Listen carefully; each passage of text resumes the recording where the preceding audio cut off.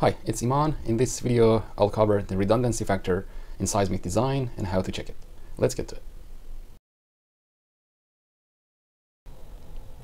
Alright, the redundancy factor is actually closely related to the concept of uh, structural indeterminacy. Okay, uh, let's look at two frames over here. From structural analysis, we know that the degree of indeterminacy of frame A is greater than of frame B. Okay. Um, assume these two frames have the same stiffness and strength. Uh, in frame A, strength and stiffness are provided by two braced bays in each story. And during an earthquake event, if one of the braces fails, the other brace will still maintain the stability of the structure um, and prevent overall collapse. Okay. However, in frame B, if an earthquake causes the single brace bay in a story to fail, that story will no longer have any lateral load resisting elements and the structural uh, will become unstable. Okay, so uh, by definition, a structure with a high degree of indeterminacy is one where the seismic load in the x or y direction um, is resisted by multiple components, like several moment frames, brace frames, or shear walls, um, such that if one of these components is lost, the structure can still maintain much of its strength. Okay. Um, so in general, the greater the number of lateral resisting elements in a structure, the higher its indeterminacy or redundancy will be, uh, resulting in improved seismic performance and better behavior at the moment of failure, uh, which makes our structure happier, right?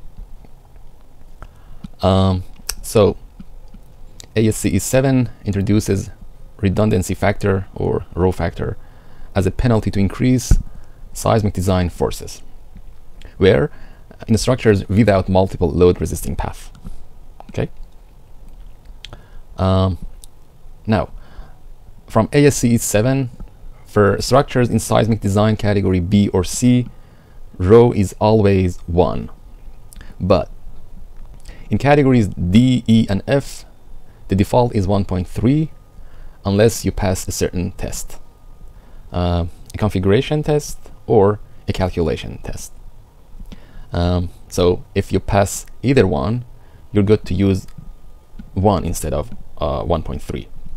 Okay? Condition A, or the calculation test, checks if any story resists more than 35% of the base shear in that direction, and then applies the rules in this table to see if removing one element would cause excessive strength loss or extreme torsional irregularity. Okay. And item B, the configuration test, um, is much simpler. Your structure must be regular in plan and you need at least two lateral bays on each side of the center of mass at every story that resists more than 35% of the base shear. Okay. Again, item A is harder to verify, and it's um, usually done with design software programs like uh, ETABS or SAP or whatever you're using. So uh, that's why we almost always start with condition B. Um, if you pass it, you're done, period. Um, you can take rho equals 1 without even touching condition A. Okay. All right. Uh, let's walk through an example real quick. Here is a four-story frame with the lateral load distribution at each level. Um, using the sum of forces in the x direction equal to 0, we can calculate the story shear. Okay. Um, any story resisting more than 35% of the base shear needs to be checked for redundancy, right? Um, here, the first, second, and third stories all exceed 35% of uh, base shear. So uh, redundancy must be checked for those stories. Okay. Now, uh, looking at plan views, uh, we have two cases, case one and case two. Um, condition B says in each direction, the lateral, sorry, the structure must have at least two lateral bays on each side of the center of mass for all the stories exceeding that 35% limit. Okay, so uh, looking at the top plan, case one, um, assume the earthquake is acting in the x direction. So basically, the walls parallel to the x direction resists the seismic load. Okay, and we have shear walls on each side of the center of mass. Okay. We typically call the span between columns a bay, but in the cases of in the case of shear walls, the code has its own specific definition of a bay. Uh, so to find the number of bays um, when you have a shear wall, just take the length of the shear wall and divide it by the story height. So in this example, it's 25 feet over 12 feet, which equals 2.08, uh, which is greater than 2. Okay. In the second case, there is only one brace bay on each side of the center of mass. Uh, that fails the requirement, basically. So clause B is not satisfied, and uh, we must check clause A. So to do this, one of the brace frames must be removed in each story under different load combinations and story levels um, to evaluate the change in lateral shear resistance. Um, the goal is basically to assess the potential for extreme torsional irregularity and verify whether a new irregular condition is, in, is introduced uh, when one brace is removed. Okay, uh, and again, this type of check must practically be performed using structural analysis software. Okay. All right. Now, let's go over a few important notes that you need to keep in mind when you're applying uh, the redundancy factor in your designs. Okay. First, you can always just take rho equals 1.3 without doing any verification in either direction. Uh, well, that's okay, but it's not recommended. Uh, why? Because it's overly conservative, um, and you'll end up with a heavier design, and that's not the intent of ASCE 7, right? Second, uh, if you're using clause A or the calculation test, you can apply rho factor independently in each direction. For example, you might have rho equals 1 in the x direction and rho equals 1.3 in the y direction, uh, depending on the results, right? Next, if the structure in its own, in its original configuration, uh, meaning without removing any elements, uh, this structure, if uh, already has extreme torsional irregularity, then rho equals 1.3, period. No further checks are needed. You just take 1.3 right away, okay? Now, uh, let's talk about height to length ratios for shear walls and wall piers, because these come into play when you're doing the redundancy factor checks, right? Um, in this picture, you can see how we define the height and length for shear walls and wall piers.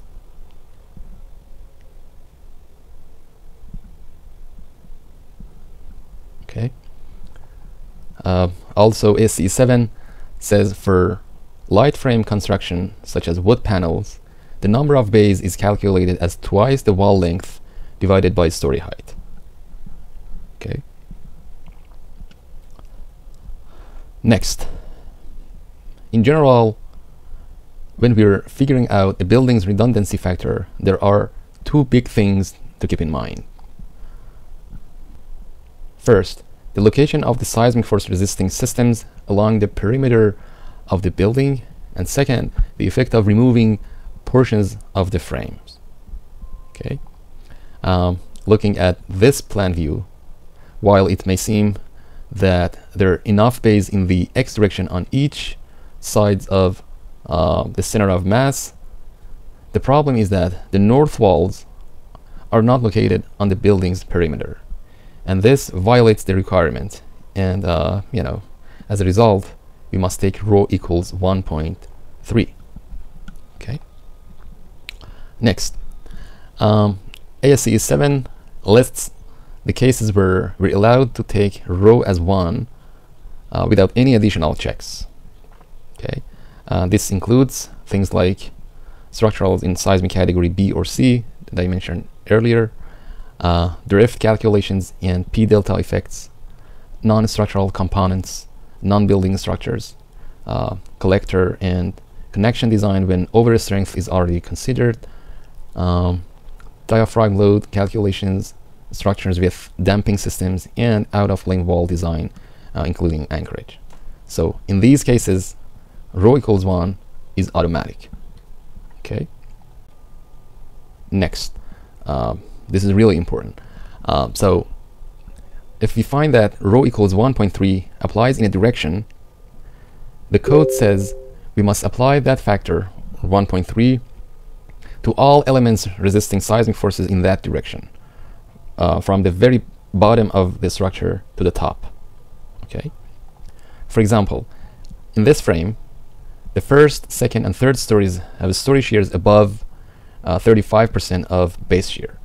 So uh, we check their plan views.